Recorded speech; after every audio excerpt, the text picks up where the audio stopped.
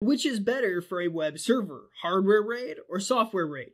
Well, hardware RAID is a dedicated hardware component that physically attaches to a server and manages your disk. It's ideal for handling larger RAID arrays, such as storage servers. It offloads the work from your CPU, which can make things faster. It doesn't consume any CPU resources on the server itself. On the other hand, software RAID uses your server CPU to manage the disks. It's more flexible and can be cheaper, but it also can be slower.